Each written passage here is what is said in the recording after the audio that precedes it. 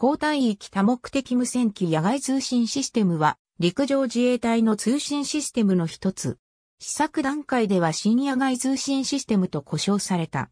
略称は、の通。開発は、技術研究本部、制作は NEC が行っている。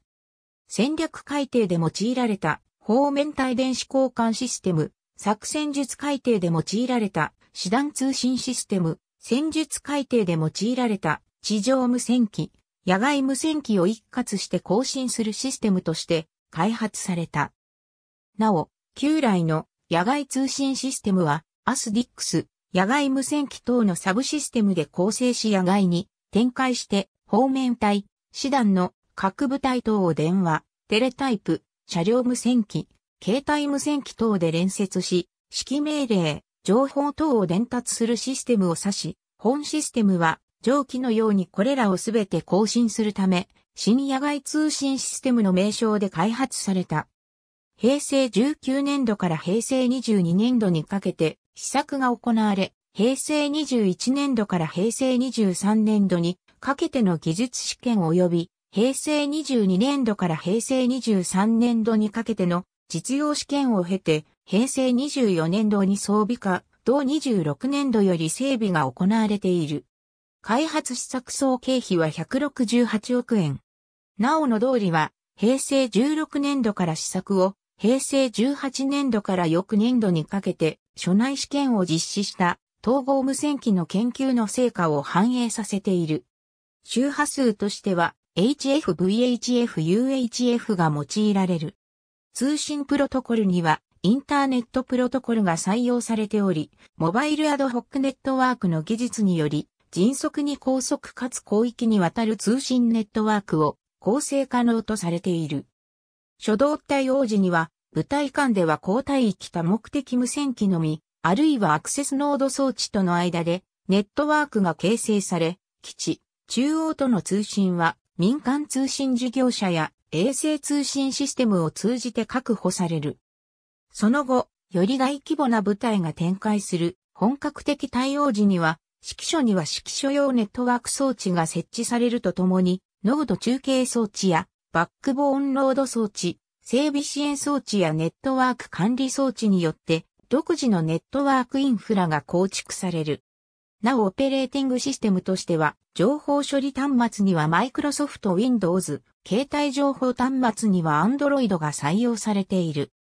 システム内の無線通信端末として開発された高帯域多目的無線機は、その名の通り、周波数帯域としては HF、VHF、UHF に対応し、また音声通信とデータ通信の同時利用が可能となっている。NEC が開発していたソフトウェア無線技術が採用されており、所要のソフトウェアを使用することで、3自衛隊間及びその他の部外関係機関との直接通信が可能となっている。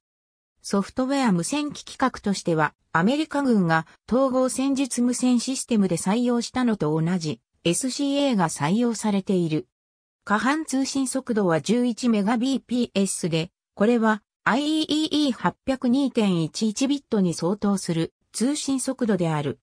の通配備開始後には、陸上自衛隊の指揮統制システムをソフトウェア化して搭載することで、指揮改定から第一線部隊まで情報の共有を可能とし、海事、空事、米軍との秘匿情報の共有も可能とする研究が行われた。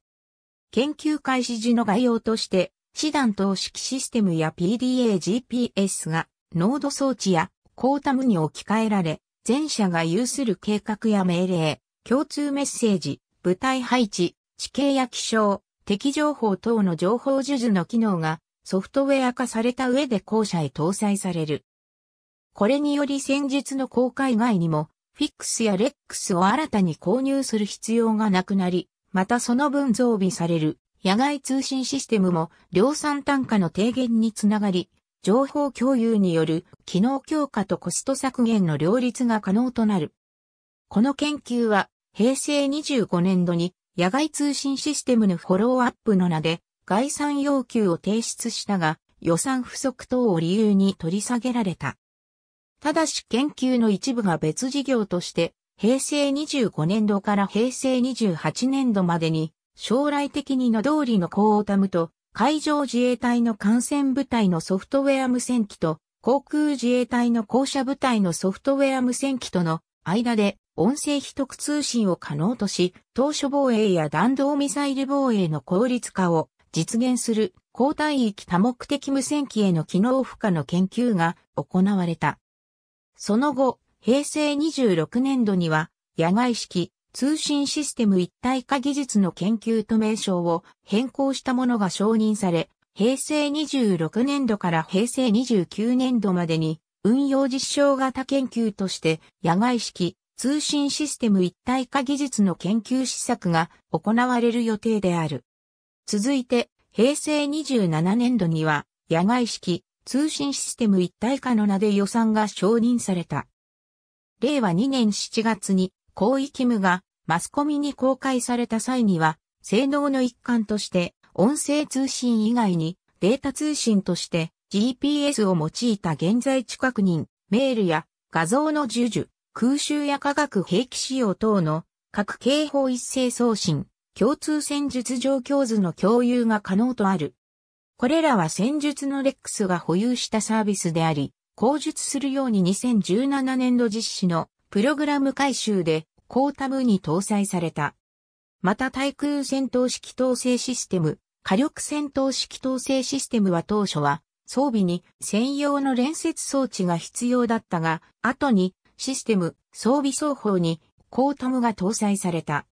しかしレックスを搭載したの通りを含めた核 C4i システムは独立しており、他のシステムとの連接は不十分であった。このため、将来の陸上自衛隊 C4i システムの名で、陸自式システムを含めた、フィックスアドックスアドックス、野外通信システムのほか、各種センサーウェポンシステムを標準化することで、センサーズ2シュターズまでの C4i システムを実現する予定である。本システムは、フィックスアドックスアドックスの通りの回収と SNMS の開発により構築される。なお、の2にソフトウェア化される予定だったフィックスは維持されるようである。概算要求等では、平成23年度に第3次補正予算でコータムを、平成24年度に2セットまた、補正予算で12セット、848億円、平成25年度で12セット、平成26年度補正予算で2セットが要求された。中央調達の実績では、平成23年度に2セットとして、24年度に14セット、25年度に25セット、26年度に28セット、28年度に1セットが調達された。ライフサイクルコスト年次報告書では、平成25年度報告書の予定総調達数は約20セットだが、平成26年度報告書は約30セットとなっている。なお26年度報告書では25年度時点の予定総調達数も約30セットとしている。平成24年度に調達数が大幅に増えたのは東日本大震災時に派遣部隊の通信システムが新旧維持だったために円滑な情報通信に支障が生じ、更新が急務であることを認識したためである。なお先日のようにコータムは東日本大震災対処の教訓を踏まえて、先行して平成23年度に装備化、同24年度より整備が行われている。平成30年度時点でのコータムの保有数は19,357台。このうち重式戦車等の特定装備品の無線に用いられるコータムは708台ある。令和2年7月時点で車両搭載型の保有数は約7000台。全体としては約7割の部隊配備が行われている。平成30年度における会計検査院の報告では、の通りは主にコータムに対してプログラム改修を行った。報告時点で改修は3度行われ、それぞれ27プロ改め、28プロ改め、29プロ改めと称される。このうち27プロ改め、29プロ改めは交代域多目的無線機を28プロ改めは野外通信システム全体の改修を対象とした。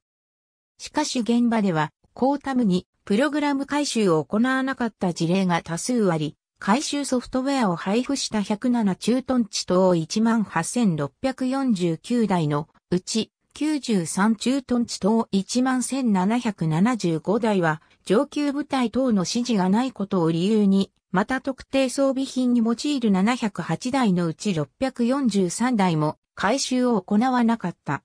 プログラム回収を行わない場合、機能充実や回収機能が適用されない。